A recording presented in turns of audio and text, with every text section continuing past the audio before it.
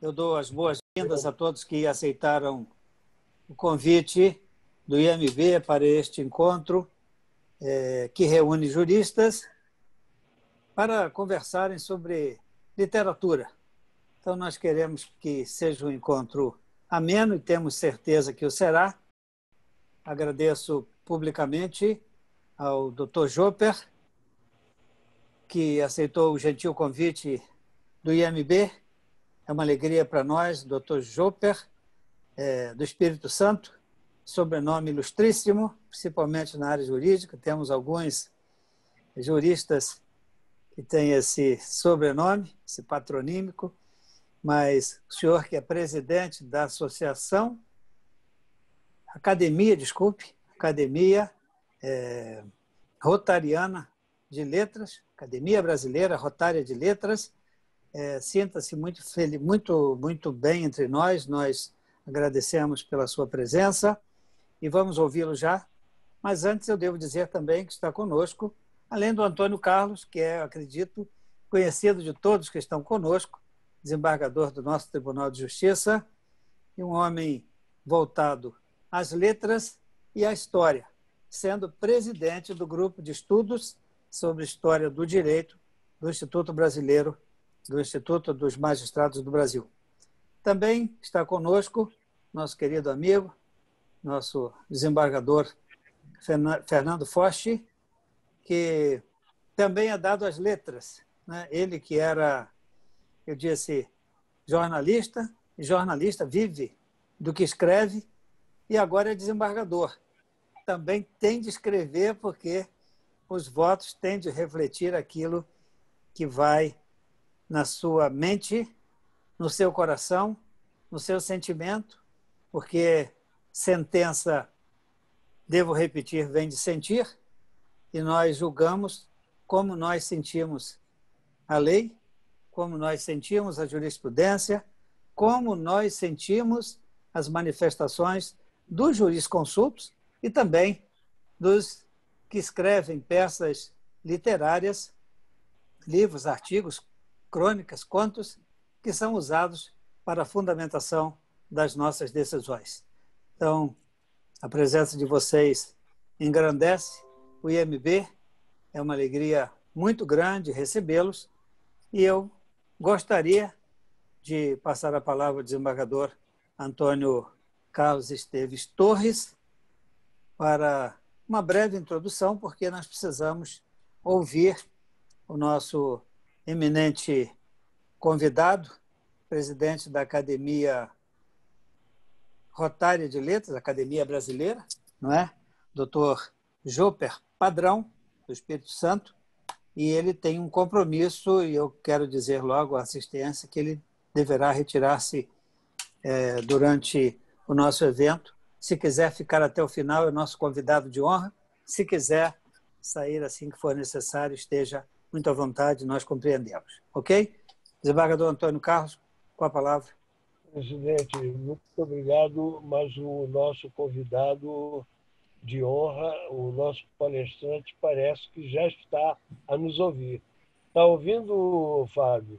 Estou ouvindo bem, Antônio. Estou ouvindo bem. Ah, o, nosso, o nosso palestrante já está, já está na sala. Então, eu preferiria que Vossa Excelência passasse a palavra ao nosso convidado de hoje. Antônio Carlos, antes então de passar a palavra ao doutor Fábio Coutinho, é, já esteve conosco, depois a conexão caiu, provavelmente, mas como o nosso convidado também, presidente da BROL, vai ter de ausentar-se, gostaríamos de dar uma palavra a ele só para um, um, um cumprimento aos nossos amigos, aos nossos convidados e aos nossos é, palestrantes. Pois não, é, doutor Joper, padrão. Ilustre desembargador Dutra, muito obrigado pela deferência. É uma honra estar em nome da Academia Brasileira Rotária de Letras presentes a esta reunião, em que estamos com o nosso acadêmico Antônio Carlos Esteves Torres, o acadêmico Bem-vindo Augusto Dias, a acadêmica Zélia Guerra, prestigiando modestamente que seja esta iniciativa onde se associa justiça à literatura. Tudo que disser respeito ao desenvolvimento da cultura em nosso país, a Abrol estará permanentemente junto e a postos, e nesse momento, em nome dos rotarianos do Brasil, queremos louvar os magistrados que, em nome do Instituto de Magistrados do Brasil, promove esta, este memorável encontro. Muito obrigado pela deferência e pelo uso da palavra. É uma honra estar presente junto a todos e a todas. Muito obrigado. Sucesso no encontro. Nós, como lhe dissemos, agradecemos a sua presença e transmitimos os nossos cumprimentos também à Academia Brasileira Rotária de Letras. Obrigado. E agora, então, passaremos a palavra ao nosso palestrante, Dr. Fábio de Souza Coutinho, que é presidente da Associação Nacional dos Escritores. É uma alegria muito grande recebê-lo. Sabemos que o seu currículo é muito vasto e como nós já estamos com um pouquinho do horário avançado, é, sabemos que é sobejamente conhecido. Não é? Passamos ao senhor a palavra e gostaríamos de ouvi-lo. Obrigado. Por favor. Obrigado, desembargador. Eu não posso deixar de fazer um registro uh, inicial de primeiro de agradecimento ao Instituto dos Magistrados do Brasil pelo convite, que muito me honrou, e também pela boa surpresa que acabo de ter de ver na tela o doutor João Perpadrão do Espírito Santo, que é, é uma amizade que herdei de meu pai. Então, é, isso é uma grande felicidade para mim. Até me, isso até me emocionou agora. É, evidentemente que não, não estou com ele há muitos anos, realmente há muitos e muitos anos, mas não posso deixar de fazer esse registro, porque é, é um amigo que herdei é, da pessoa que mais amei na vida. Então, é, realmente, é, esse é o registro que eu tenho que fazer. Né? Eu peço desculpas por me estender nesse ponto. Uh, muito obrigado, Júper, por sua presença aqui hoje. Tá? Realmente foi. É, haja, haja, haja coração para aguentar tanta emoção, né? mas enfim, vamos em frente. Vamos em frente. O, a ideia do, desse, desse cruzamento de vertentes entre direito e literatura é, acompanha a, a, a, literatura brasileira, vamos dizer assim, é, desde a escola é, do arcadismo. Eu acho que nós podemos situar isso ao longo das várias escolas, é, as várias, dos vários períodos, dos vários movimentos literários brasileiros. Né? Eu diria que o primeiro deles, o primeiro é, movimento literário tipicamente brasileiro, ainda que ainda estivéssemos na colônia, porque é um movimento do século XVIII, é o movimento do arcadismo. Aqueles grandes poetas brasileiros do século XVIII, e evidentemente que toda vez que eu mencionar é, integrante de um determinado movimento literário, eu vou fazer com, com listas pequenas, porque listas grandes é, a gente corre o risco de deixar alguém de fora. Não fazendo uma lista pequena, é, são aqueles mesmos, os consagrados, não vai haver muita dúvida sobre isso. Eu acho que é, naquele movimento é, do século XVIII, eu posso destacar como integrantes da, da, da profissão jurídica política, vamos dizer assim, ou que hoje nós chamamos de operadores do direito, o grande Cláudio Manuel da Costa, sem dúvida nenhuma, um grande advogado lá em Vila Rica, é, Tomás Antônio Gonzaga, o Dirceu da Marília, né? da Marília Dirceu, ou o Dirceu da Marília, e também é, o grande o grande Inácio José de Alvarenga Peixoto. Esses três grandes poetas militantes na, na, na, como operadores do direito, Cláudio como advogado e os outros dois como juízes. Cláudio era, Cláudio era, era o único mineiro, né? o, o, o Tomás Antônio Gonzaga nasceu no Porto, né, era português, nascimento, chegou ao Brasil com oito anos de idade, e o, e o Inácio, Inácio de Alvarenga Peixoto, Inácio, era um carioca, o Inácio, e eles formavam aquilo que a historiografia chama de escola mineira, ainda que apenas um deles fosse mineiro, propriamente dito. Né? Então, eles são figuras excepcionais que inauguram, vamos dizer assim, uma fase em que se pode dizer que há um casamento, uma fase da literatura em que há um casamento dela com o direito, porque eram três é, profissionais de primeira ordem, e há também é, poetas que são consagrados como os, os, os poetas inconfidentes. Né? Cláudio, Cláudio Manuel da Costa, é, o, o Alvarenga Peixoto e o, e o, e o Tomás Antônio Gonzaga. No século seguinte, no século seguinte, aí já vem uma escola muito mais forte é, do ponto de vista de prestígio intelectual, é, que é a escola romântica. Mas aí nós temos que estabelecer um marco para entrar no romantismo na literatura brasileira. Esse marco é a criação das, das faculdades de direito aqui no Brasil. É, decreto imperial de 11 de agosto de 1827. A partir desse decreto, existe toda uma, uma, uma uma, passa a haver uma geração de estudantes, é, é, tanto da Faculdade de Olinda quanto da de São Paulo, do Largo São Francisco, que são as duas faculdades que foram criadas pelo decreto imperial de 11 de agosto de 27, que são fortemente é, participantes da literatura brasileira. Grandes poetas e o, e o patriarca do romance brasileiro, né, José de Alencar, né, que nasceu que nasceu naquele logo depois da, da, proclama, da, da, independência, logo depois do 7 de setembro de 22. Alencar é de, 19, é de 1829. Esse é o grande escritor brasileiro na, na, na prosa de ficção, José de Alencar um bacharel, evidentemente, que cursou é, as duas faculdades, tanto é, Olinda quanto São Paulo, em três momentos começou em São Paulo, foi para Olinda e voltou para São Paulo, onde se formou. Então, Zé de Alencar, a grande figura do romantismo brasileiro, é, é, é um, um, bacharel típico, foi advogado, foi político. Né? É, para vocês terem uma ideia da importância dele naquela época, é, Alencar, quando foi biografado por ocasião do, do centenário de sua morte, em 1977, pelo, pelo Lira Neto, outro cearense como ele, o Alencar era de Messejana, a cidade de Messejana, lá perto de Fortaleza, o Alencar recebeu o título de O Inimigo do Rei. A biografia que o Lira Neto escreveu de Alencar chama-se O Inimigo do Rei, quer dizer, era um advogado militante muito forte, um político importante, e tinha uma desavença muito grande com o imperador Dom Pedro II, que inclusive vetou a, a indicação dele ao, ao, Senado do Império naquela ocasião. Alencar tinha essa pretensão de ser senador e acabou não sendo. Foi deputado, foi ministro, mas não chegou a ser senador por causa dessa desavença que deu a ele, inclusive por conta seu, da, da, sua biografia e ao longo daquele tempo todo, essa, esse epíteto de o inimigo do rei. O rei, no caso, era o, o, o imperador, né, Dom Pedro II nosso, nosso segundo e último imperador. Na poesia, esse plano romântico na poesia brasileira ligada ao, ao direito, vamos dizer assim, que essa que é a ideia, né, que a gente faça, faça essa, esse amálgama, essa, essa, essa simbiose entre, as duas, entre essas duas vertentes, é, aí sim nós temos um, um, um timaço, como se diz. Né? É, nós temos Gonçalves Dias, Castro Alves, Casimiro de Abreu, Fagundes Varela e Álvaro de Azevedo.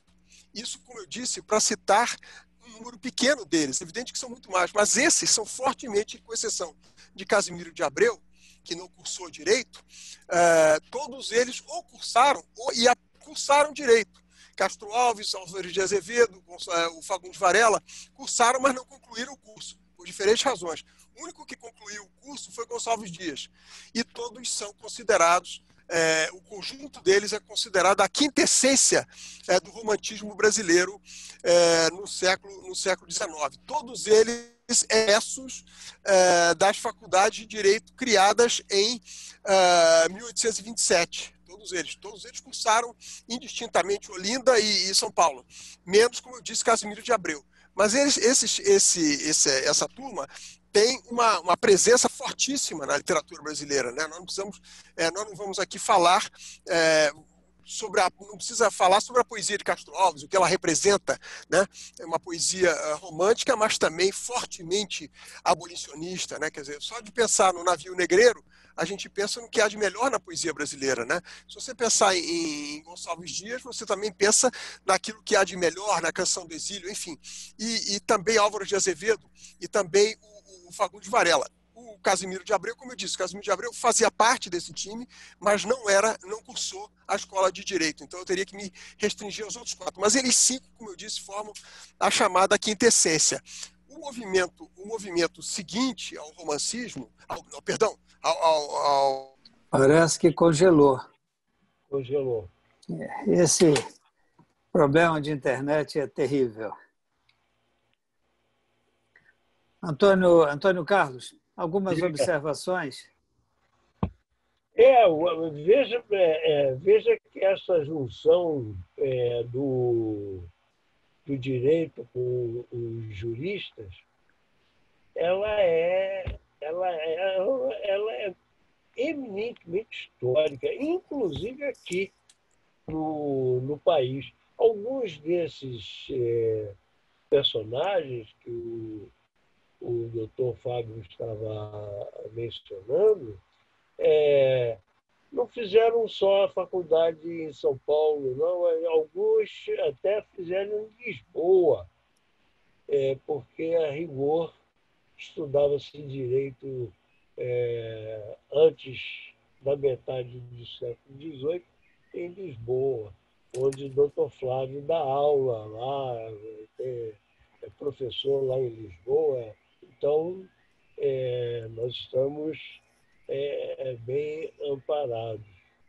E o, o doutor, doutor Fábio, o jurista, ele é obrigatoriamente escritor, porque ele só se, só se comunica escrevendo. O advogado tem que escrever, o juiz tem que escrever, então, nós somos escritores compulsórios. E estes elementos, a exemplo do nosso palestrante de hoje, além de escritores compulsórios, eram homens que mudavam a história.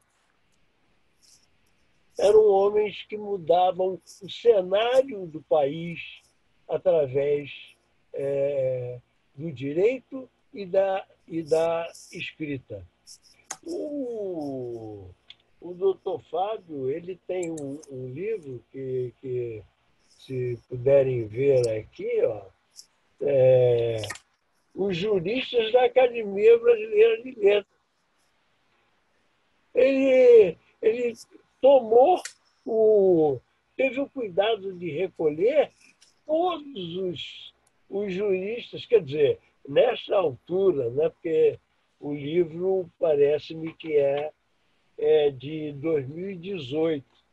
De 2018 para cá, eu, eu tenho a impressão de que outros juristas já ingressaram na Academia Brasileira de Letras. Mas há uma particularidade do doutor Fábio de Souza Coutinho, que é a leitura como ponto de partida, porque geralmente o ponto de partida é a obra, a obra que é lida. Mas ele escreveu Crônicas de um Leitor Apaixonado, em que ele menciona aqui todas as obras que o impressionaram Aqui temos brasileiros e estrangeiros. Entre os estrangeiros, o que ele conta de, de Hemingway é realmente algo é, sensacional. Mas essa forma de ressaltar a figura do leitor, ela foi executada por José Lins Jobim que coordenou esta obra que está aqui, que é a Biblioteca de Machado de Assis. Eles iam jogar fora os livros de Machado de Assis. E ele conseguiu resgatar toda a obra que era lida por Machado de Assis, em especial Stern, que foi um inspirador, Lawrence Stern, do Shandy, ele era um, um, um, admirador da forma como era. Mas então ele copiou, dizem alguém, então ele copiou. Não, Machado de Assis não copiava ninguém. Ele tomava a obra e adaptava a nossa, a nossa realidade. Cadê o doutor Fábio? Não, não, não, não, não conseguiu reentrar. Bom, é, se me permite, nós eu queria deixar é, uma mensagem que eu ia deixar no final de qualquer maneira, mas vou antecipar. Nós temos outros Machados de Assis. Nós temos outros Alencares.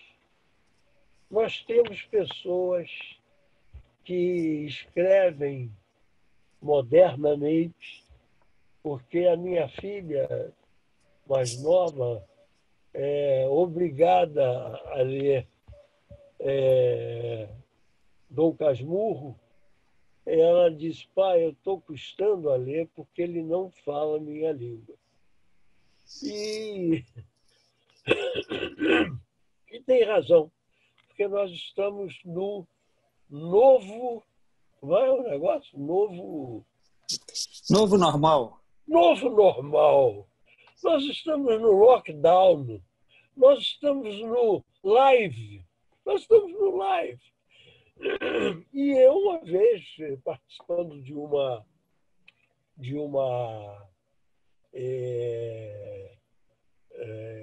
reunião desse estilo com o Bechara, eu, eu reclamei com o Bechara porque nós estávamos destruindo os nossos hábitos, os nossos costumes, até na forma expressiva de rir.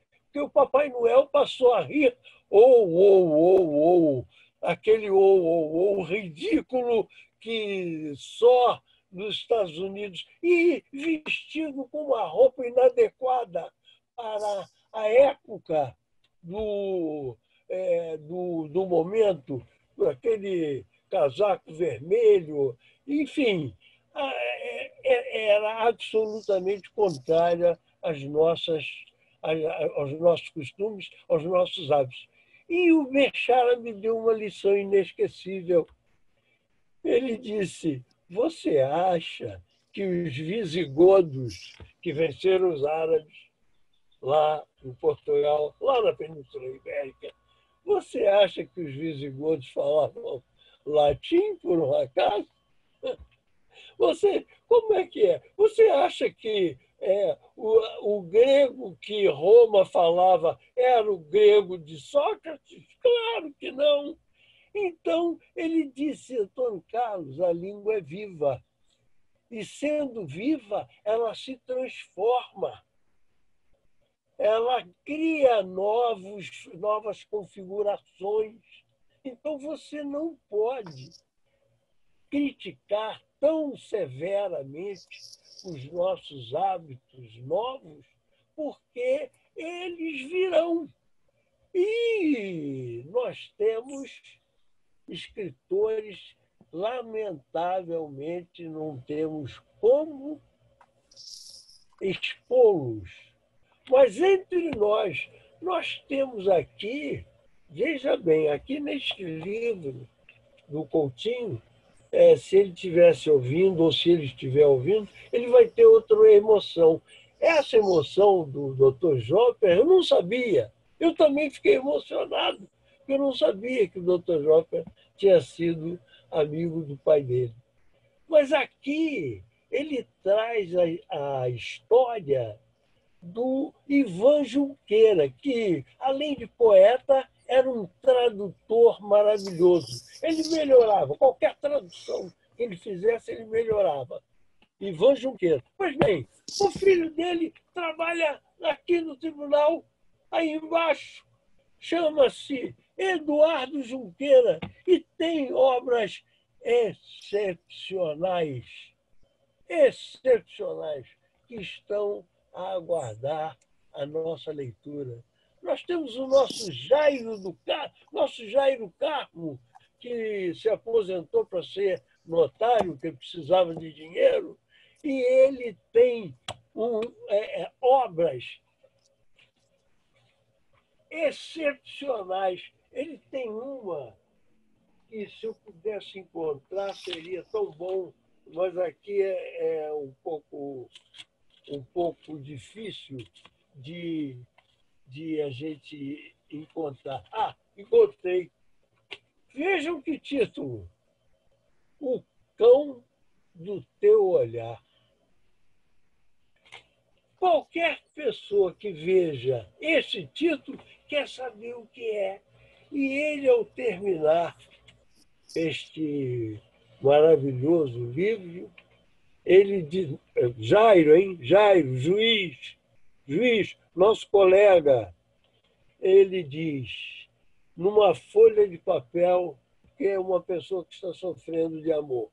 E o sofrer de amor é sempre um motivo para grandes livros. Né? Veja que, que o nosso Dante Alighieri é, fala de sofrer de amor. Então, Ô, Antônio Carlos, não, não, não sejamos tão, tão trágicos, por favor. Né? Ô, e... ô Foch, você queria dizer alguma coisa? Eu tenho, até se você quiser o um encaminhamento, eu não me atrevo a fazer isso. Se a seu juízo, a Academia Brasileira de Letras ela é tão conhecida quanto deveria, não é? Então hoje nós temos uma academia brasileira de letras, que é meu juízo. Eu não sei se é porque eu sou mais velho e, às vezes a gente valoriza Machado de Assis, valoriza José de Alencar e lembra de Tomás Antônio Gonzaga, Cláudio Manuel da Costa, mas esquece dos novos escritores que hoje ocupam a Academia Brasileira de Letras, como Ana Maria Machado, né? Então a gente vê Ana Maria Machado a gente lembra logo de uma obra infantil, né?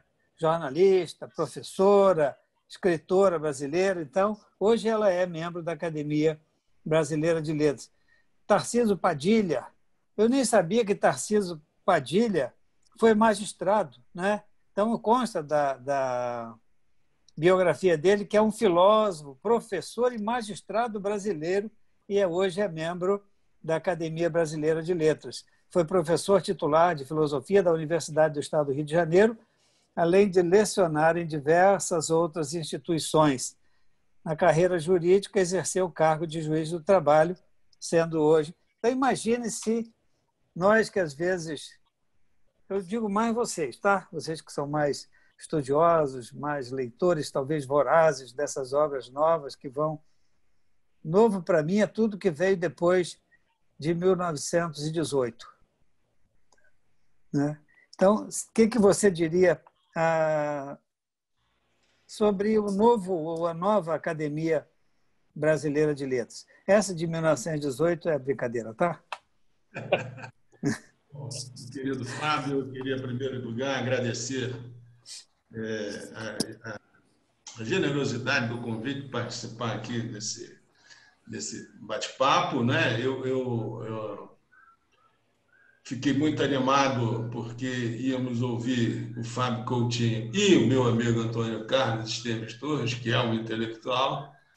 É, por isso mesmo, eu não declinei do convite. Deve ter sido um engano esse convite, porque eu não estou à altura dessas duas figuras extraordinárias da admiro.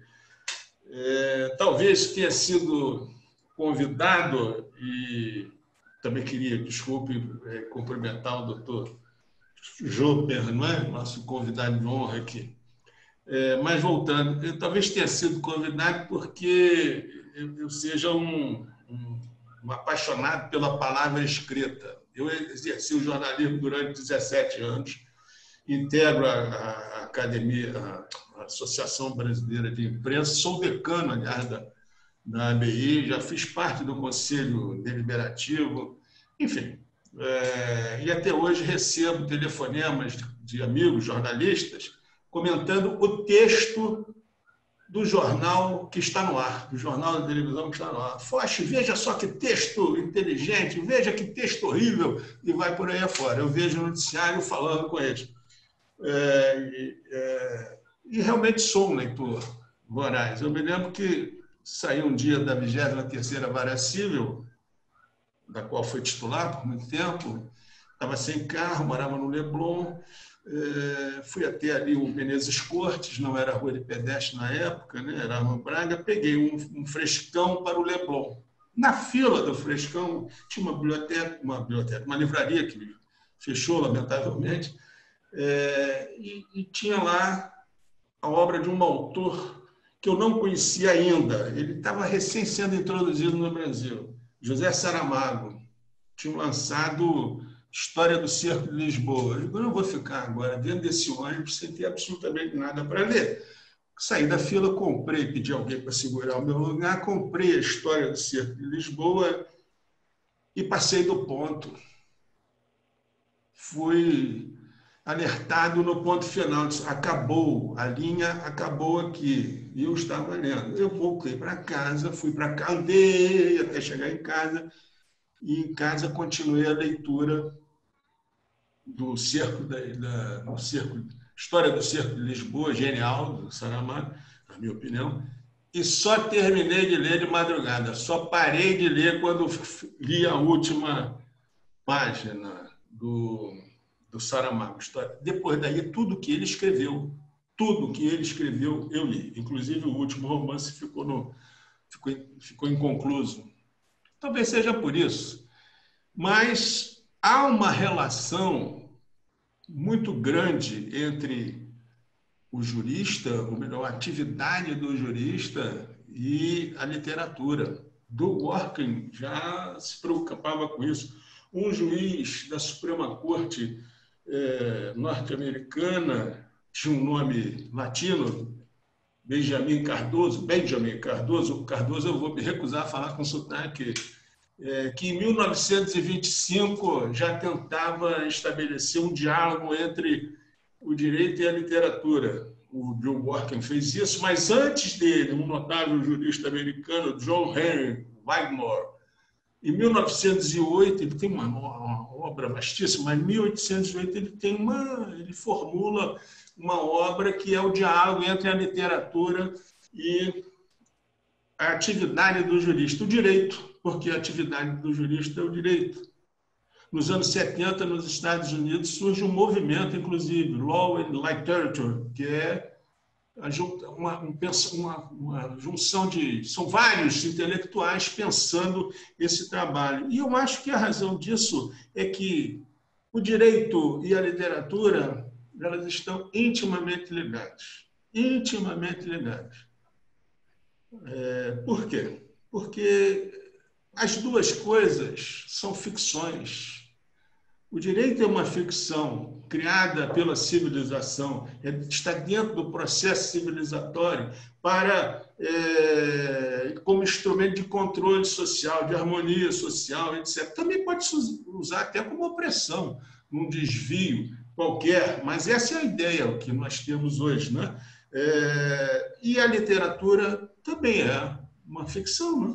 é uma criação em cima da realidade. Tudo isso incide na realidade. O direito não incide no éter. Nós podemos estudar o direito abstratamente, como, por exemplo, faz Hans Kelsen.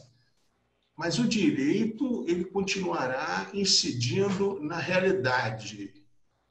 A matéria onde opera o direito, se opera o direito, é a realidade. E a literatura é a mesma coisa. Até o realismo fantástico está calcado nesta outra ficção, que é enfim, as convenções da vida, é, os costumes, etc, etc.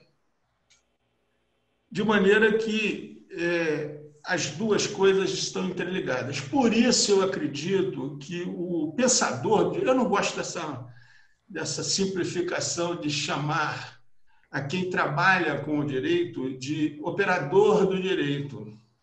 Isso eu acho um apelo à mediocrização eu acho que todos temos de ser pensadores do direito. O juiz, o membro do Ministério Público, o advogado, devemos ser, devemos ter a pretensão de ser pensadores do direito.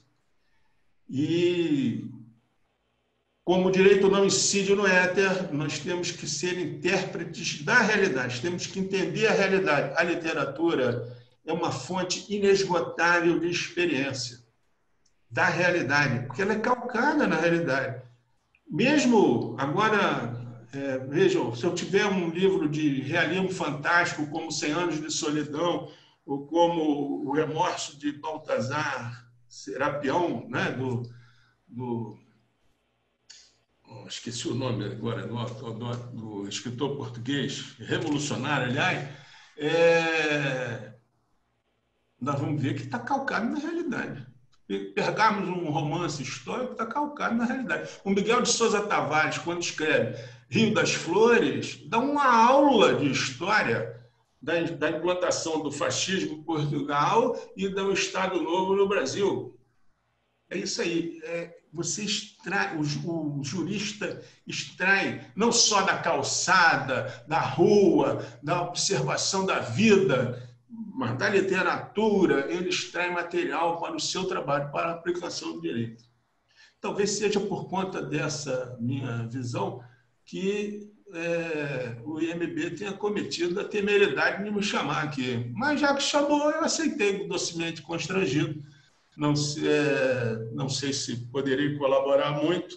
Agora, o nosso Fábio de Souza Coutinho acaba de retornar, o que mostra que Deus é Pai. Graças a Deus ele está de volta. Eu devolvo a palavra ao meu presidente Fábio. É, é. Não, tá eu... bom. Tá bom, presidente só... Fábio Coutinho, por favor. Não, eu peço de onde Vossa Excelência eu... parou.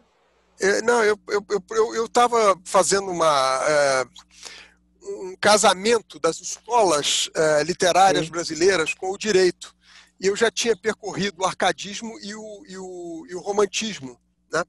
E a seguinte, aliás, pedindo. Que não haja, que não haja. Apanhando, eu estou apanhando computador, viu? Senhor, desembargador, por favor. O senhor disse que estava fazendo o casamento, que nós não tenhamos o divórcio desse casamento não, aí. É, não, está havendo várias separações, né? Mas, enfim, pelo visto são. Mas é para são... o, amor, o amor aumentar.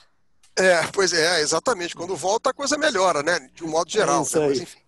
É, de qualquer maneira, o que eu estava dizendo é que na etapa, a, a escola seguinte, é, depois do, do Romantismo, porque o Romantismo já aproveita aqueles alunos todos de Olinda e Recife que eu citei, aqueles grandes poetas, citei José de Alencar na prosa de ficção, mas o movimento é, é, seguinte, eu diria que o grande movimento seguinte ao, a esses dois, do, do século XVIII, o arcadismo, e do século XIX,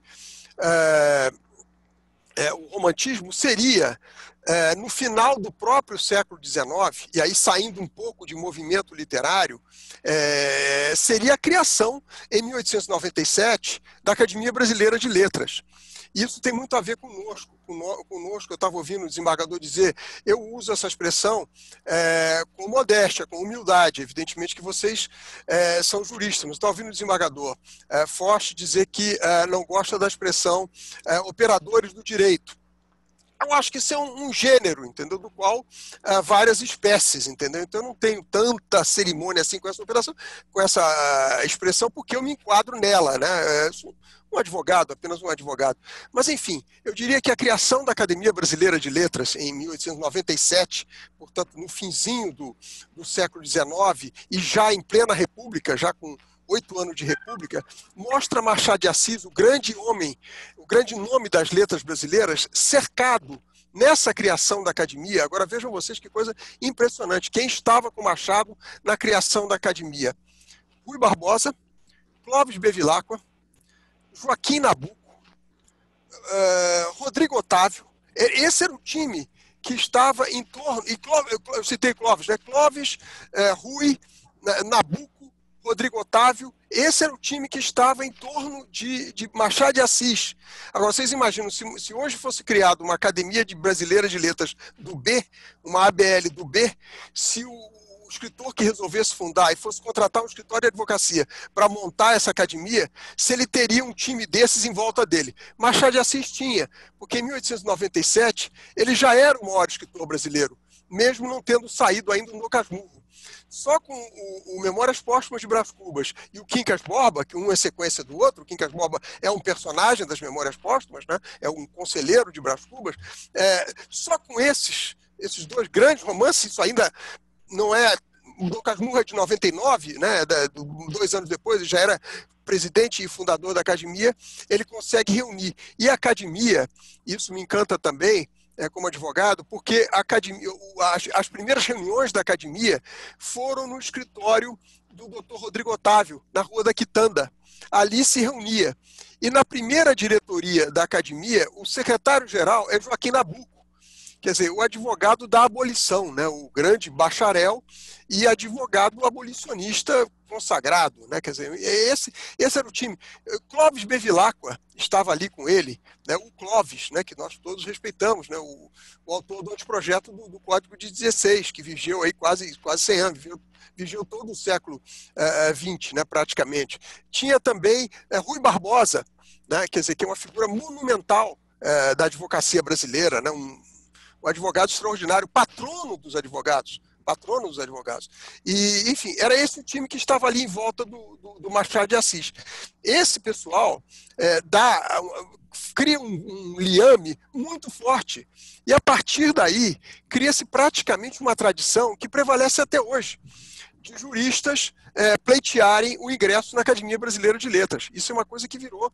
É, são mais, são quase 20 é, que, que, ingressaram, vários ministros do Supremo. Uh, e outro que era muito importante naquele momento, e eu deixei para falar agora porque era também ministro do Supremo, estava ali ao lado de Machado, foi um grande incentivador da fundação da academia, já era ministro do Supremo, que é o ministro Lúcio de Mendonça. É, o ministro, o doutor Luiz Rodrigo Otávio, em cujo escritório é, a academia se sediou no primeiro momento, em que houve a primeira reunião da academia, depois veio a ser ministro supremo, depois de ser consultor-geral da República. Mas o ministro Lúcio de Mendonça já era ministro supremo naquele momento. Então vejo que time que estava ali em volta de Machado de Assis. Né? Esse era uh, Clóvis Vilaco, Rui Barbosa, Rodrigo Otávio, Lúcio de Mendonça e Joaquim Nabuco. Esse era o time que, de que Machado se cercou para fundar a academia. Então, eu acho que isso é um exemplo, um exemplo extraordinário é, da ligação que há é, direito e literatura no Brasil. A partir daí, é, há, evidentemente, que, como eu disse, há, há uma sucessão é, de eleições para a academia. E eu destacaria, eu destacaria também, como muito importante, ainda nessa linha, a própria sucessão de Machado de Assis. Né? Machado presidiu a academia por, por 11 anos, de 97 a 1908, quando ele falece, e Machado é sucedido duplamente em 1908. Como acadêmico, ele ocupava a cadeira 23, pra, de, que ele tinha escolhido como patrono Zé de Alencar, né, que tinha falecido 20 anos antes, ele escolhe em 97, ele escolhe como seu patrono Zé de Alencar, sobre quem eu já falei também, e, e, e a sucessão de, de, de Machado como presidente da academia. Agora vejam vocês quem são os dois sucessores de Machado. Na presidência da academia é Rui Barbosa. É o sucessor de Machado da presidência da academia, que era um dos fundadores com ele. E na cadeira 23, o sucessor de Machado é Lafayette Rodrigues Pereira, o grande civilista mineiro, né, o que tem aquele extraordinário livro de direito das coisas, tem um direito das famílias também, tem um direito internacional. Lafayette Rodrigues Pereira, ao, em paralelo à sua, à sua carreira jurídica é, fulgurante, Lafayette foi o grande defensor de Machado, foi um dos grandes defensores de Machado contra os ataques é, de Silvio Romero a Machado de Assis. Silvio Romero tinha uma implicância com Machado em função de, de, de ter sido uh, aluno de Tobias Barreto e queria que, que também é outro grande jurista, é, é, e que queria que Tobias tivesse mais destaque, enfim, enfim, essas coisas, essas ciumeiras, essas, essas idiosincrasias é, que estão em, em, todos os ambientes, infelizmente, mas, mas é, a, é uma realidade. Lafayette Rodrigues Pereira, com o pseudônimo de Labieno, escreveu artigos extraordinários uh, em defesa de Machado de Assis e se credenciou como um grande machadiano, a ponto de ter sido o, o, o, escritor eleito para suceder Machado. Sua obra, à exceção desses, desses ensaios de defesa de Machado, diante da, dos ataques de, de de Silvio Romero, a obra dele era jurídica, como eu disse, como vocês todos conhecem muito melhor do que eu. É, era, era o, o, direito das coisas. Eu me lembro que quando eu fui estudante de direito, o meu professor, que era colega de vocês, o desembargador de, o professor de direito civil, que foi nosso professor durante cinco anos, o desembargador Herbert Chamun, citava o, o, o direito das coisas do, do, do, Lafayette Rodrigues Pereira. na década de 1970. Citava o direito às coisas de Lafayette Rodrigues Pereira. Então, é, esse é o sucessor de Machado na cadeira número 23 na academia, da academia. E na presidência, a sucessão foi Rui Barbosa. Dizer, então, eu acho que não precisa é, avançar muito. Na sucessão, outra, outro aspecto muito curioso que eu acho interessante destacar é que na sucessão do próprio Lafayette Rodrigues Pereira veio outro grande defensor de Machado de Assis, que foi um advogado é, fluminense de nascimento, mas radicado em São Paulo, que foi o doutor Alfredo Pujol. O Pujol fez as chamadas conferências machadianas. Os dois grandes defensores de Machado de Assis diante dos ataques de, de, de Silvio Romero foram o Lafayette Rodrigues Pereira, e o sucessor, que foi o sucessor de Machado, e o próprio sucessor de Lafayette Rodrigues Pereira, o doutor Alfredo Pujol, uma figura também extraordinária. Para vocês terem uma ideia, o doutor Alfredo Pujol era um bibliófilo monumental. Tinha uma biblioteca de não sei quantos milhares de volumes lá em São Paulo. E num determinado momento, o doutor Pujol quis se desfazer da sua biblioteca. Ele por alguma razão, quis se desfazer da biblioteca. E ele frequentava várias livrarias lá de São Paulo, onde ele onde ele garimpava preciosidades literárias, aqueles, aqueles sebos, ainda há alguns em São Paulo, né? mais até do que no Rio. Mas, enfim, o doutor Pujol é, colocou sua biblioteca à venda e com, conversou com um, um, um, funcionário de uma das livrarias que ele frequentava, lá na rua Barão de Tapetininga, lá no centro de São Paulo, e disse, olha, eu estou vendendo minha biblioteca. E esse funcionário disse, é, eu vou comprar, doutor Pujol, eu vou comprar a sua biblioteca. E esse funcionário que comprou a biblioteca de, de Alfredo Pujol era o, era o senhor Zé Olímpio, Zé Olímpio Pereira Filho, o grande editor. Quer dizer, a grande editora brasileira é, é, da, da, da, vamos dizer assim, né, é, a partir da década de 30 do século passado até a década de 70, né, naqueles 40 anos, entre, vamos dizer, com Marcos, 1930 e 1970, foi a Livraria Zé Olímpio Editora, né, que era primeiro na Rua do Ouvidor e depois ali na Marquês de Olinda, né, endereços que são é, familiares a nós todos, né, a nós quatro. Né. É, então, é, o Zé Olímpio compra, o Zé Olímpio compra a biblioteca do Dr. Alfredo Pujol, compra a biblioteca desse grande advogado criminalista, advogado de júri lá em São Paulo, e que é também o sucessor de Lafayette Rodrigues Pereira é, na Academia Brasileira de Letras. Há essas, há essas coisas, essas coincidências, que não são coincidências, a rigor são sincronicidades, né? porque você vê que há uma sucessão de, de fatos, todos convergindo para é, essa, essa essa simbiose, esse amálgama entre direito e literatura. Um outro aspecto que eu acho interessante, também ligado a esses nomes que eu citei, que estavam na fundação, é o fato de que o Dr. Clóvis Bevilacqua, que foi um dos fundadores, como eu disse, estava lá é, na fundação, com, ao lado de Machado e daqueles minários outros todos. Em 1937, o Dr. Clóvis Bevilacqua é, resolve indicar numa vaga que surge, né? porque infelizmente é, é, são todos imortais, mas não imorríveis, né? alguém faleceu, e, e, o doutor, e o doutor Clóvis Bevilacqua, é, com o prestígio que tinha, né, de fundador da academia, lançou a candidatura é, de sua mulher, que teria sido a primeira mulher acadêmica, né, isso em 1937. E essa mulher era a dona Maria Amélia de Freitas Bevilacqua, também escritora, né, não tinha o prestígio que tem que tinha o marido e que tinha os outros que estavam lá naquela ocasião, e a academia, então, teria recebido, naquela ocasião, é, a primeira mulher acadêmica. O que, que aconteceu? A academia recusou a inscrição uh, da, da mulher de Clóvis Bevilacqua, da dona Maria Amélia uh, de Freitas Bevilacqua, sob o argumento, vejam, de interpretação estatutária de que o ingresso na academia era privativo de brasileiros. Vejam, isso aconteceu em 1937, quando o doutor Clóvis Bevilacqua pretendeu que sua mulher fosse acadêmica também, isso teria sido a primeira. Vejam, essa interpretação gerou um profundo desgosto uh, em Clóvis Bevilacqua, né? ele se afastou da academia, nunca mais pisou lá, veio a falecer sete anos depois desse fato, em 1944, e muito desgostoso, nunca mais pisou. Um fundador frequentou a academia durante 40 anos, de 97 a 37, e naquele momento em que a mulher, a inscrição de sua mulher foi indeferida, é, porque o estatuto falava em brasileiros.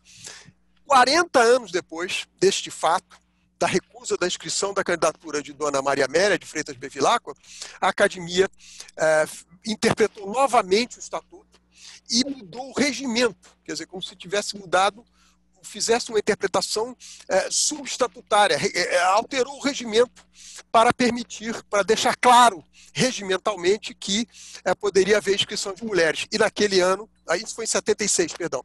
E no ano seguinte, em 77, aí sim foi eleita a primeira mulher acadêmica, que foi a Raquel de Queiroz. E a partir daí, é, várias outras, inclusive algumas que eu ouvi o, o desembargador Forte citando, Ana Maria Machado, é, Nelly da Pinhon, a própria Dinácio Vieira de, de Queiroz, que foi a segunda, e...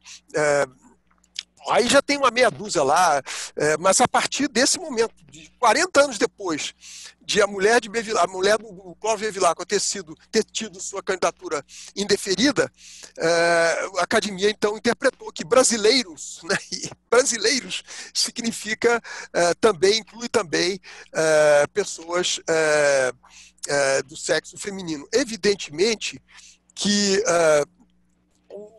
hoje isso não tem mais nenhuma, nenhum sentido, nenhum, nenhuma. Não vale mais nada, né? Quer dizer, isso foi uma interpretação que apenas serviu para entrar para a história da academia como um fato é, é, desagradável, como um fato que evidentemente que não honra, né? Porque naquele momento essa, essa interpretação muito pedestre, né? E não e não e, e, e prevaleceu o pior é que, é, é, que, é que prevaleceu.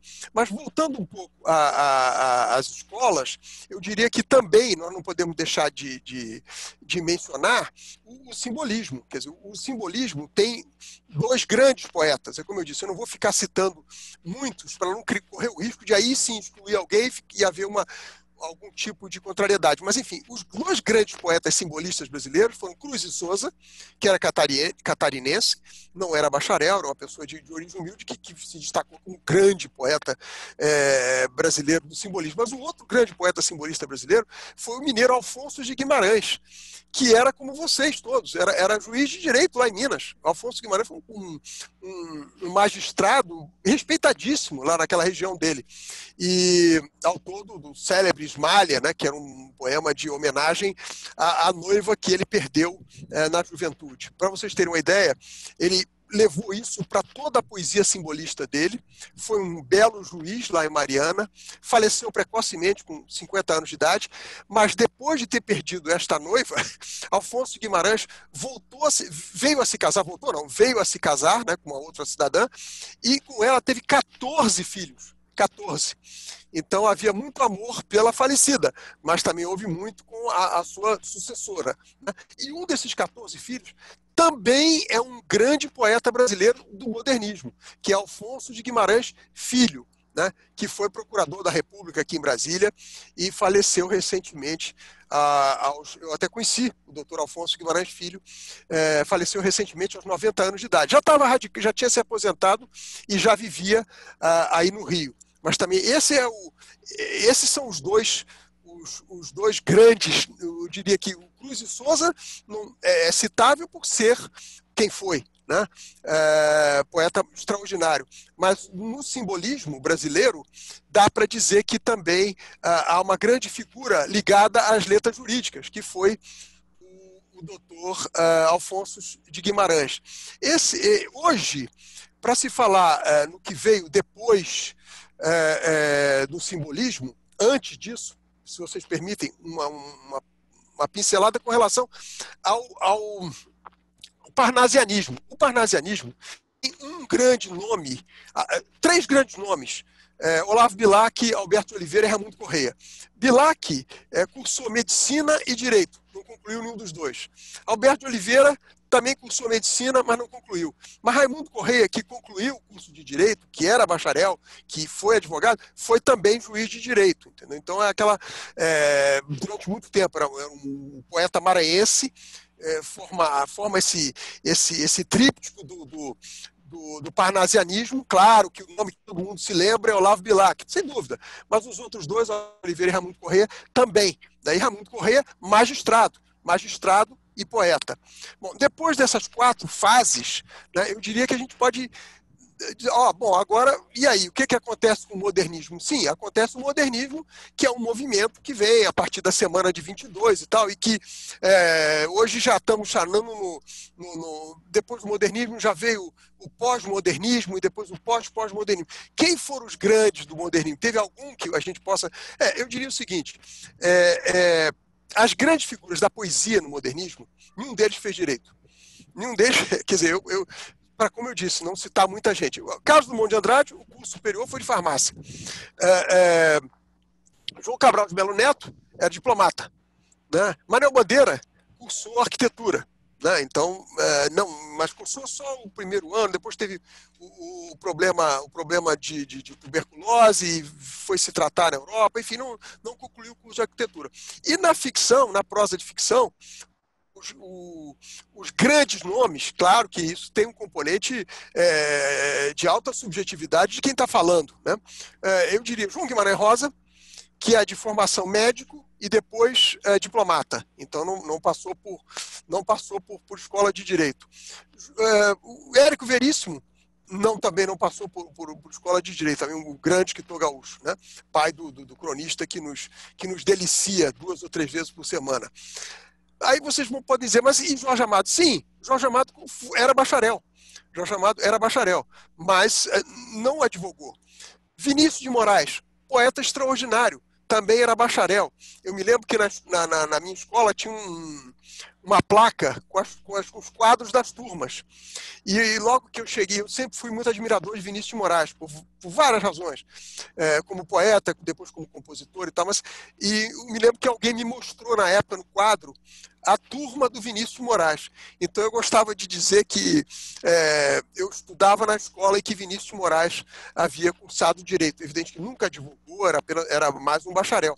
Mas enfim, existe um, um vínculo muito forte. Eu acho que é, é, nossas, nossos, esses, dois, esses dois segmentos da inteligência nacional, né, porque nós estamos falando da, da inteligência brasileira, né, é, a, a, literatura e, e, e, as carreiras jurídicas, né, as carreiras jurídicas, a, a de vocês e, e a minha e a, e a, de, e a de Ministério Público, enfim, e tudo isso tem uma forte ligação. Vocês viram a quantidade impressionante de, de grandes escritores brasileiros é, nesses 300 anos que eu procurei sintetizar, é, pedindo desculpas pelas, pelas problemas que houve aqui de, de conexão é, tecnológica, mas enfim, é, olha, a literatura brasileira está vem de uma faculdade de direito. Claro, as exceções são honrosíssimas, como eu citei agora, né, principalmente nessa, nessa contemporaneidade. Mas é, eu diria que nós fomos, nós fomos muito participantes, nós somos muito participantes. Hoje em dia também é comum é, é, é você ter é, magistrados que são poetas. Está é, aí Antônio Carlos, que, que, que não deixa ninguém mentir, entendeu? E eu até já, já publiquei poemas dele aqui em Brasília, e enfim, e, e tantos outros, entendeu? E tantos outros que são é, poetas. Na Academia Brasileira de Letras é uma, uma sucessão de escritores que foram uh, que, que que, foram. Eu quis dizer o seguinte: no Supremo Tribunal Federal é quase que uma tradição. Eu, por exemplo, tive professor também, voltando à, à faculdade da Rua do Catete. Eu tive um professor que era da Oscar Dias Correia, era membro da Academia Brasileira de Letras. Foi, meu, foi, foi nosso professor lá na Rua do Catete, de cadeira de Economia Política. Entendeu? Então, e, e, vários outros. É, é, Hermes Lima foi da academia, Evandro Lins e Silva, que era chamado de o príncipe dos criminalistas, né?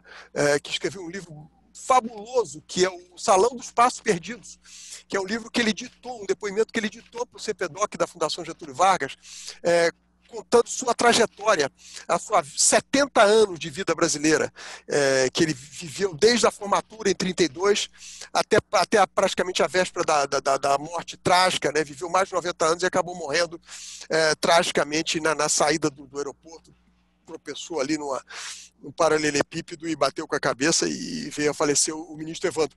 Todos esses foram da academia. É, e fora, evidentemente que aí não vou citar nomes, né?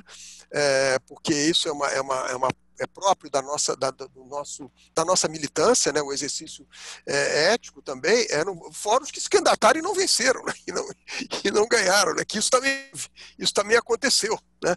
É, e Aliás, eu posso dizer apenas num caso, porque me parece uma coisa tão impressionante que não tenha conseguido. Eu acho que vale, eu acho que não vai aí nenhuma, nenhuma quebra de, de padrão ético, não, porque é, é o grande civilista brasileiro, depois do Clóvis Bevilacqua, foi o doutor é, Francisco Clementino de Santiago Dantas.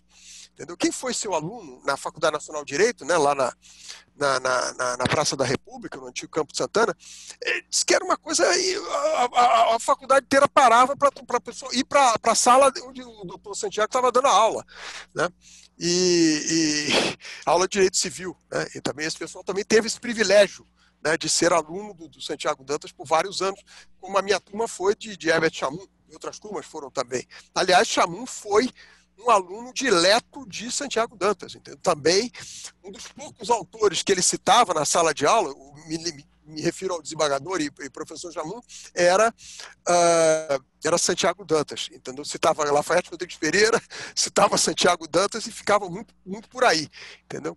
E também o grande professor que eu tive, eu não posso deixar de mencionar, já que estamos falando de literatura e direito, ainda que não tenha sido um autor, vamos dizer assim, literário, mas era um escritor de primeiríssima água, né? e que foi, para mim, a maior figura, a maior, a maior presença didática que eu tive, né? porque nós todos fomos alunos, fomos estudantes por cerca de 20 anos. Né? Isso é uma coisa natural, né? desde o do grupo escolar, desde o jardim de infância até a faculdade, a pós-graduação, enfim. Eu diria que eu cubro como estudante um período de 20 anos da minha vida, 20 anos felizes, aliás, talvez até os mais felizes.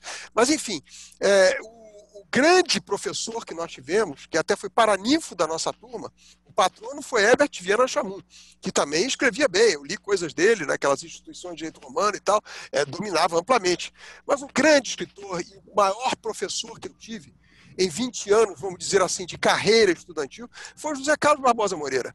É, não, é, tem que essa homenagem, isso tem que ser dito sempre, entendeu? É, era um privilégio. A, aula dele era um privilégio. Foram só dois anos o quarto e quinto ano. E, quarto, quarto e o quinto anos. E, e, era, era uma maravilha. E depois ler aqueles livros todos dele, com aqueles pareceres esplêndidos, e os comentários, a, a parte de recursos do, do, do novo código, enfim, escrevia esplendidamente, falava com uma facilidade extraordinária, sem afetação. Isso é uma coisa muito importante, quer dizer, isso é uma coisa também que é um ranço que a gente tem, um certo, um certo gongorismo, um certo barroquismo de linguagem. Não.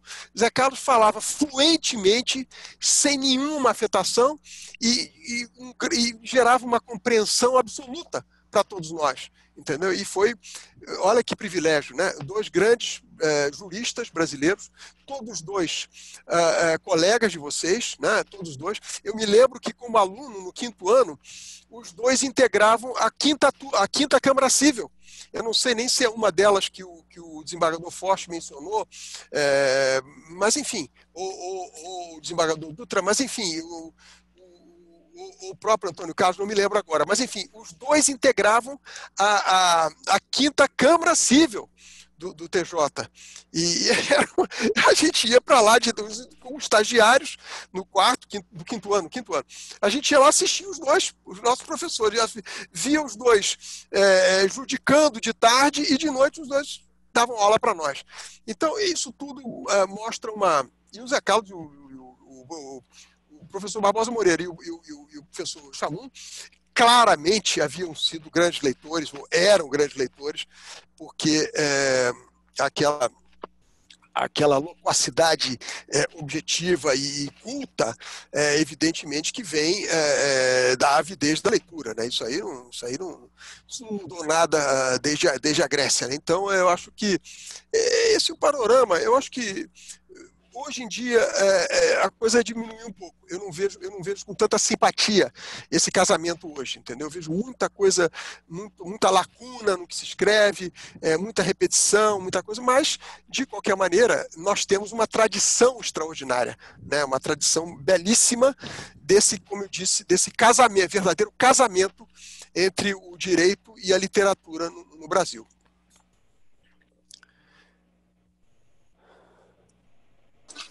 Muito bem, professor. Acho que nós hoje não vivemos os melhores dias.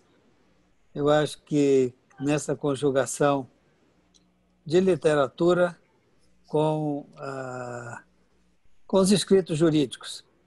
Mas talvez seja uma visão de quem é um pouco pessimista.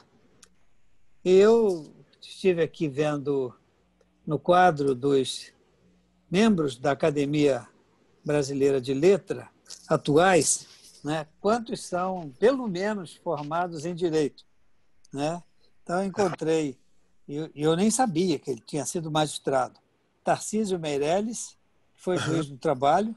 Tarcísio né? Padilha, foi... né? Tá, é mais conhecido ah, como sim, Tarcísio, Tarcísio Padilha. Padilha. Tarcísio Meirelles é, Padilha. Meirelles Padilha. É, que foi juiz do trabalho, foi professor da, da UFRJ. Sim, é um, filó, um filósofo, um filósofo importantíssimo. filósofo, dúvida. sim. Mas eu estou dizendo, eu não sabia que ele tinha sido, que ele era magistrado. Foi magistrado, Isso demonstra né? a, Pois minha, é. a, minha, a minha condição de raso dentro dessa.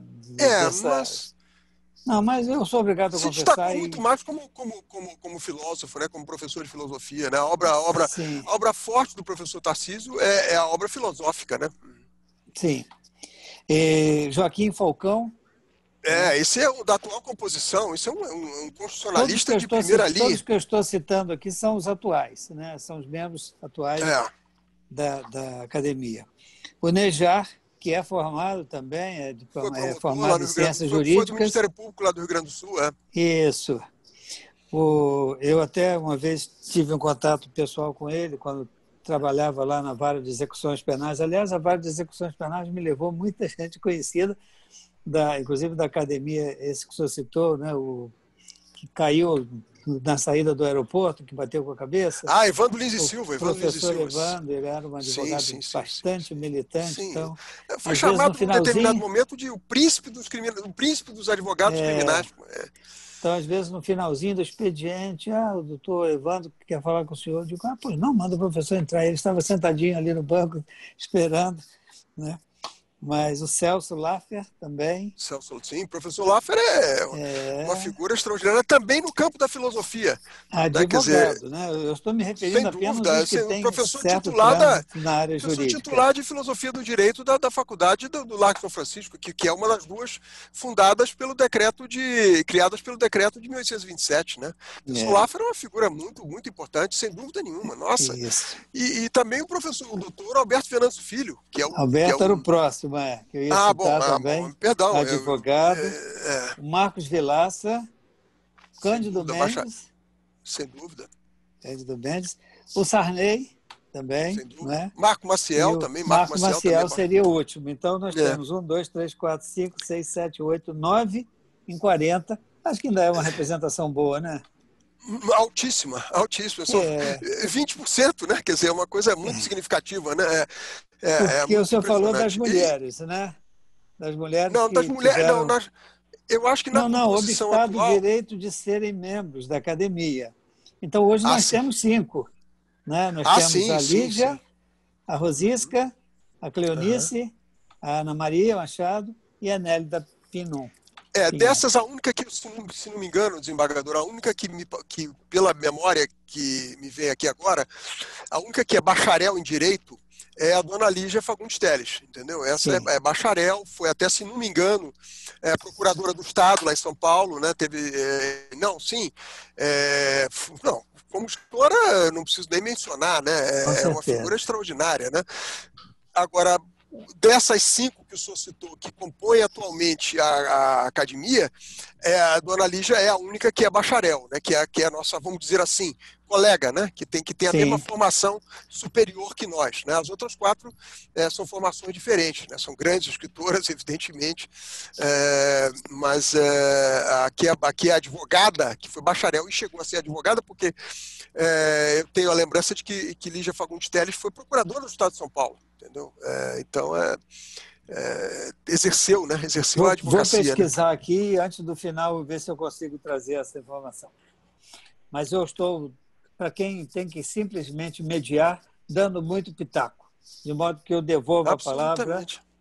É, mas eu estou me referindo aos nossos dois debatedores, que, que o senhor chegou a pegar uma parte aí da apresentação do nosso amigo desembargador é, Foch, Né? Sim, eu estava ouvindo, eu, tava, eu estava ouvindo, desembargador. Eu, houve um problema aqui é, técnico que eu não tive como remediar de pronto, mas é, eu estava ouvindo a intervenção do desembargador Forte, entendeu? Sim, sim. É, eu, eu devolvo então a palavra ao desembargador Forte para agora, já com mais esses subsídios, trazer alguma luz para nós. Em primeiro lugar, eu queria agradecer a, a, ao, ao a oportunidade, o privilégio de estar aqui ouvindo o, o Fábio Coutinho, né? com essa palestra maravilhosa e enriquecedora. É, ninguém sairá o mesmo daqui né, depois de ouvi-lo realmente estou encantado. Agora, só para concluir a pergunta que o meu amigo Fábio Dutra fez, eu achava dos si, os escritores brasileiros, quem sou eu para dizer isso, mas enfim, estavam bem representados na BL, eu diria que sim, claro, evidente, os nomes que foram desfilados agora aí é, demonstra isso. Mas há muita gente boa e nova lembraria Daniel Galera, é, Milton Atum, que é já um veteraníssimo, Julian Fox e outros mais, né?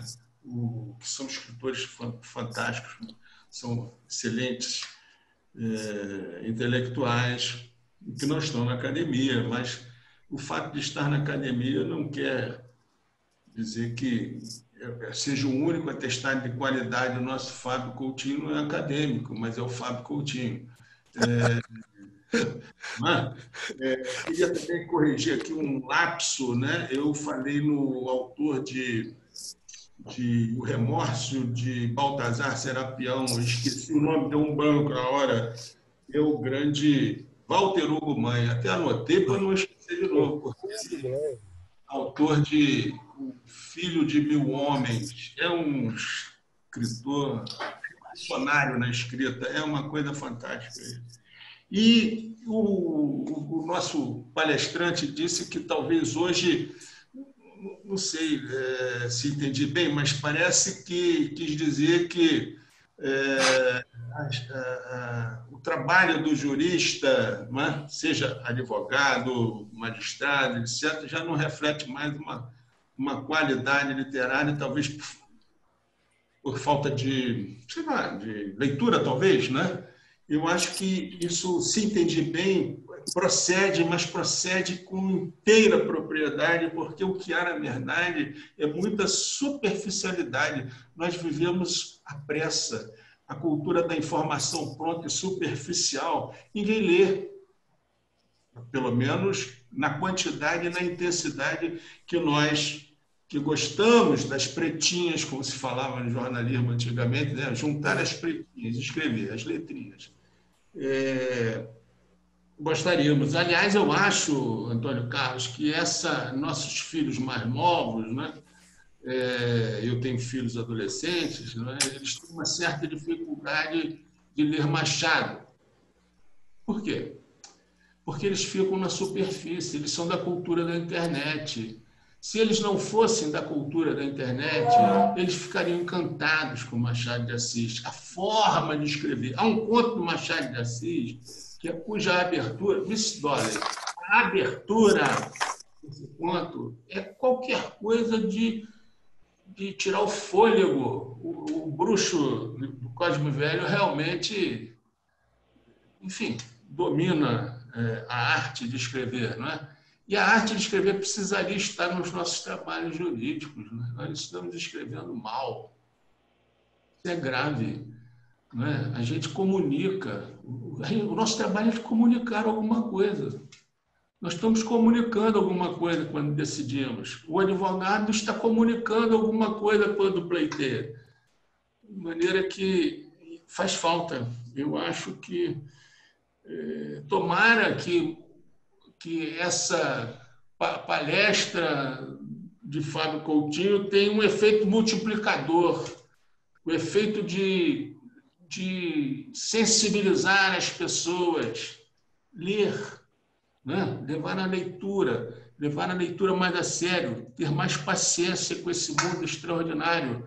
Eu, aliás, quase fui reprovado, meu tempo era ginásio. No terceiro ano do ginásio, porque no terceiro ano de ginásio estudava-se português, tudo junto, sintaxe, literatura, tudo junto, era tudo num pacotão só, e a professora, dona Beatriz, não esqueci o nome dela até hoje, e já tem tempo, hein? É, nos mandou ler Dom Casmurro. Eu endoidei. Eu esqueci o objeto direto, o predicado, o sujeito, eu não quis mais saber de nada. Eu li Machado de Assis inteiro e quase fui reprovado no final do ano. Claro, onde é que estava o sujeito, o predicado, não sei o que, isso era um detalhe. Eu estava encantado com, com fiquei encantado com o Dom Casmurro e li tudo. Li até a mão e a luva. Li os contos, Fiquei endoidecido e costumo dizer que quem me ensinou a escrever foi Machado de Assis. É muita presunção. Eu dou uma amenizada nisso e me lembro de um grande jornalista já falecido, Aníbal Fernando, trabalhou muitos anos no Cruzeiro e foi meu chefe de reportagem na Folha de São Paulo. Esse também me ensinou a escrever, escrevia magistralmente. Mas eu tive esses dois professores, mas porque eu não tinha internet. Se eu tivesse a internet, eu não teria entendido nada e Miss Dolly talvez nem fosse minha conhecida. Mas eu quero agradecer, Fábio, essa oportunidade de ouro de ouvir o Fábio Coutinho. Quero agradecer ao Fábio Coutinho, porque não é qualquer dia que alguém é brindado com essa oportunidade. Concorda, Antônio Carlos? De pleno acordo, é, voto com o relator. Está tá votado. É como voto. É, sobre o Fábio, eu teria tanto que falar que nós não teríamos, não teríamos tempo. Eu sei coisas. Né? Aliás, enquanto nós não víamos a sua imagem, eu cometi inconfidências da sua vida funcional no, no Conselho é, de Ética e contei o fato que todo mundo sabe. Então, eu não cometi nenhuma nenhuma inconfidência. Eu apenas relatei a história, como é a sua ética, que é o também nos falta. Eu, eu teria. Gostaria muito de falar dos nossos escritores novos que estão abandonados, porque não se os lê, mas é, de qualquer forma, Fábio, para você que é meu editor, eu vou terminar com um endecassilábico da minha. porque eu escrevo na hora o que eu penso. Eu sou um pouco arrogante, eu sou um pouco, não bastante, pecaminosamente arrogante porque eu só leio poesia que eu faça. Às vezes escrevo e nem eu leio. Produtos e mistérios da. Segredos mantidos desde o seio. Que, ao cruzar oceanos em desgraça, muitas vezes chegava ao meio a servir de alimento dos tubarões a coraça. Antes, ao chegar à terra, a que veio, e a chegada mãe, a terra da caça, o látego lhe rasgava o seio, que ainda assim me amamentava. Obrigado, Fábio, pela sua vinda e por ter inspirado este soneto é, tecnicamente feito com endecassílabos e, e que eu dedico não só a você, mas aos meus amigos, aos meus colegas, aos meus amigos de Brasília, que eu vejo alguns tão importantes, aos meus amigos que estão neste momento mostrando que nós temos facúndia e somos fecundos. Ninguém vai levar esse país à desgraça. Muito obrigado, Fábio, por você ter aceito esse convite. Muito obrigado, presidente, pela oportunidade de, de ter falado. Estou vendo lá o Flávio. O Flávio depois vai escrever coisas para mim horrorosas, dizendo você é um besta. Obrigado. Que beleza, né? Que beleza. De uma reunião de literatos, de escritores, de leitores, de apaixonados por livros, sai até uma poesia na hora. Né?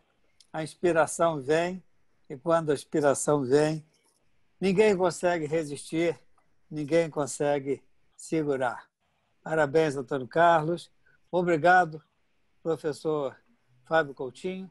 Foi uma aula magistral que uniu, né? que fez um link, se nós quisermos usar nesta live ou nesta webinar, né?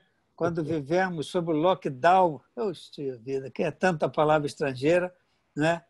que uniu a história à literatura que fez com que nós nos lembrássemos de escritores do passado e eu acho que vale até um outro encontro para que a gente possa falar só sobre os novos, só sobre os novos, sobre os, os de língua portuguesa, de Moçambique, de Angola, não é? de São Tomé e Príncipe, de todos esses é, lugares que dizem a mesma língua de Camões. Mas foi muito bom. E eu fui procurar a história da dona Lígia Fagundes Teles, não encontrei que ela tenha sido procuradora em São Paulo, mas encontrei algo mais precioso para mim que eu desconhecia. Ela foi casada com Gofredo Teles Júnior. Ora, ora, essa semana alguém me disse: ah, o senhor precisa ler o livro Direito Quântico. Eu disse: eu já li, eu tenho aqui, comprei num sebo há não sei quantos anos, conheci na universidade quando frequentava lá né, para estudar lá na biblioteca da UF Niterói e hoje fico sabendo que ela casou-se com esse personagem fantástico que durante muito tempo me assombrou positivamente. E para você, Foch, já estamos chegando ao final, também vou fazer uma inconfidência. Você quase foi reformado, reprovado no terceiro ano, né? do nosso tempo era terceiro ano do como é que é? Do, do, ginásio. do ginásio do ginásio terceiro ano do ginásio. Só que meu caso foi matemática. Eu fiz três provas somando as três provas eu consegui fazer quatro pontos. Até a metade do primeiro semestre. Eu falei estou perdida esse professor é um carrasco era um pastor que transitava no português na matemática o homem era um gênio e eu disse: ele vai me reprovar. E não é que eu consegui dar a volta por cima e passei tão raspando que eu acho que eu sinto até hoje dores do, né, dessa dificuldade. Mas foi, foi um ano marcante para mim fazer três provas, somar um, um e meio com dois e meio com zero, consegui fazer quatro pontos, né? E hoje eu só lembro disso com saudade daquele tempo, das colegas que respondiam tudo assim, já era é, equação de segundo grau, e eu tinha uma dificuldade tão grande para aquilo. E hoje é apenas saudade, hoje é apenas lembrança. Obrigado, professor, mais uma vez. Foi uma alegria muito grande para o IMB recebê-lo. Sinta-se, agora que o senhor já esteve conosco, já é nosso conhecido, ainda não tomou o nosso cafezinho, porque ainda não podemos recebê-lo pessoalmente, mas em breve Estando no Rio de Janeiro, será um prazer, na rua Dom Manuel, número 29. Temos ali uma sede gostosa. Sempre tem um cafezinho fresco, um grupo ali muito agradável para receber os nossos amigos. O IMB é uma entidade cultural e é também o seu instituto, principalmente porque o senhor é da área jurídica. Obrigado, meu querido amigo Fernando Foch. Também não se sinta como quem já pagou, entendeu? O que devia. Pelo contrário, você continua devedor. e muito em breve será procurado para quitar, talvez, mais algumas parcelas. Né, Antônio Carlos? Aqui se pagou a primeira como se fizesse um plano para adquirir um veículo no governo Lula, 84 parcelas.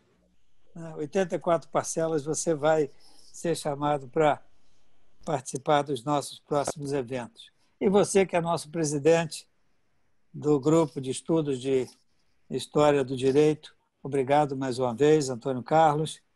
É muito bom, as suas ideias são muito boas, são sempre bem-vindas e o MB está sempre aberto para ouvi-las e para realizá-las. Obrigado a todos. Se alguém ainda quiser dizer alguma coisa, a palavra está franqueada. Se não quiser, se não quiser, estaremos fechando a sala, né? desejando uma ótima noite a todos. Obrigado, desembargador. Grande abraço. Obrigado, queridos. Valeu. Muito obrigado. Valeu. Obrigado, Forte.